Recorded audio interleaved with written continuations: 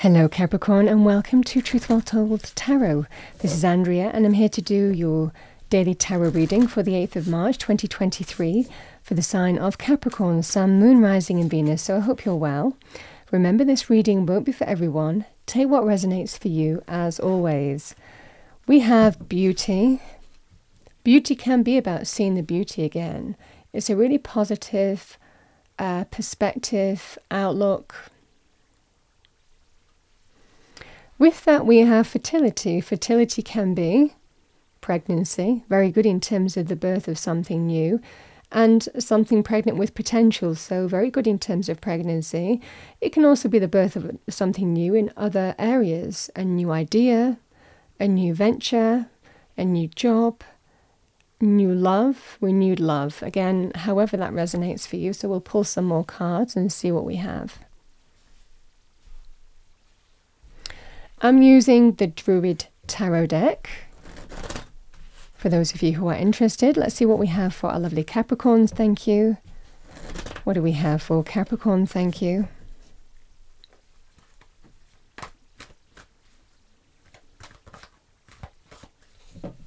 Fertility energy, certainly with beauty, is a very healthy energy as well.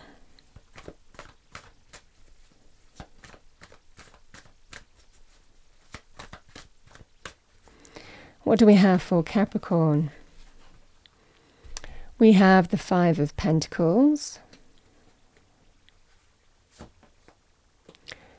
the Magician, very powerful energy. Six of Swords. And we have the King of Cups. King of Cups, male or female, can be heart centered can be somebody close to your heart.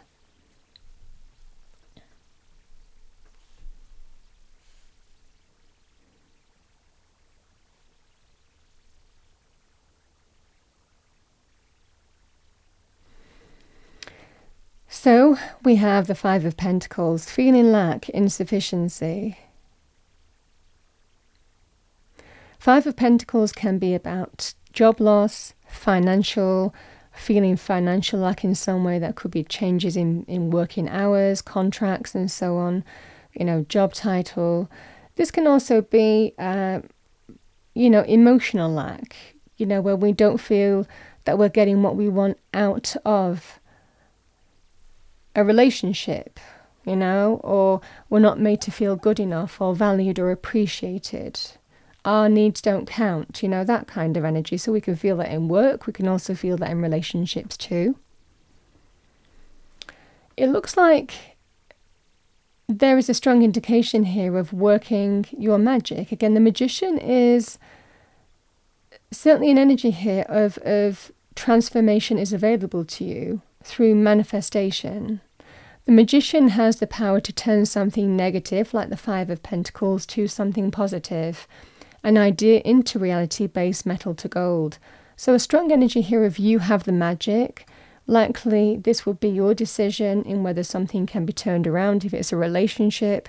And again, if, it, if it's other life, life, life areas, it can be about uh, someone may have been working their magic to transform the situation here. Again, this can be a relationship, it could be other areas of life. The Six of Swords can be about healing.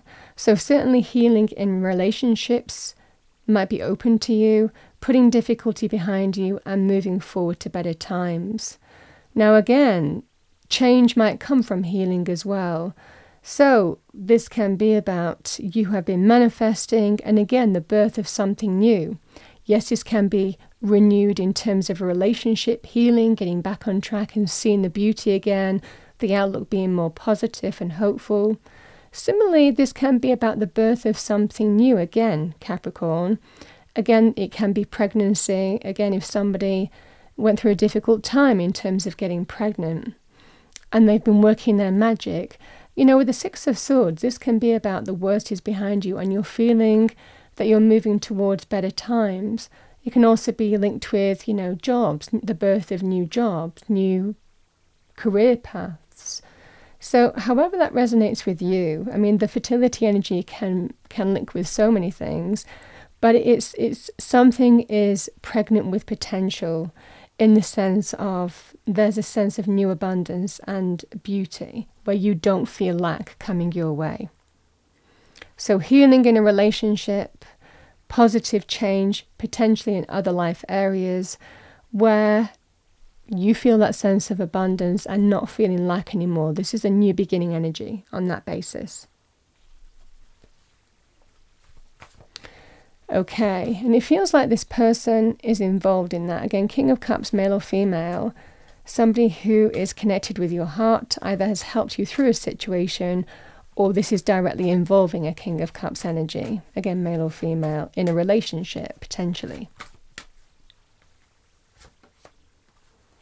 We have I never lose, either I win or learn. Okay, what do we have?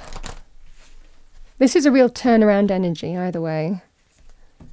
You know, you're really moving from lack to the beginnings of a new sense of fulfillment. What do we have for Capricorn, please? We have whale, tenderness, show compassion and forgive what needs to be forgiven. So, yeah, this healing energy, certainly in terms of relationships, whatever that relationship is friend, love, family, but there's there's certainly a sense of healing here. We have polar bear nurture. Allow any anxieties and worries to be gently released and offered up to be healed. And that's what you're doing. You're gently releasing them.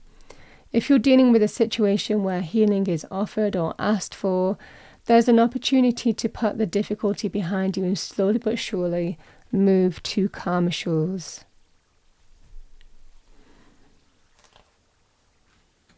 and a strong indication in the cards that there is that new sense of not feeling lack and the outlook look the outlook feeling more positive